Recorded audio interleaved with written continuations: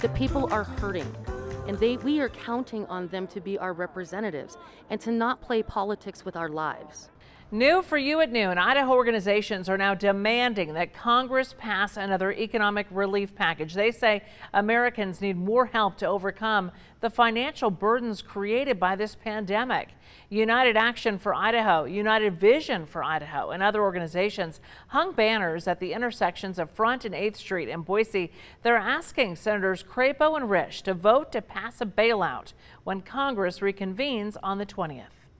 Congress has failed to pass another relief package, and at the end of this month, people will be left without any assurance, any relief that they'll have money in their pockets to pay their rent, to buy their groceries, or, or to get the health care that they need. There is legislation. There are several plans that have been presented.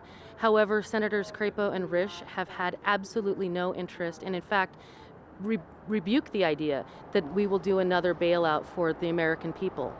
Now, this is all part of a campaign across 30 different states for another stimulus package. Organizations will be holding car caravan rallies, phone and text banks, and a petition drive in hopes of passing legislation to get American families more help.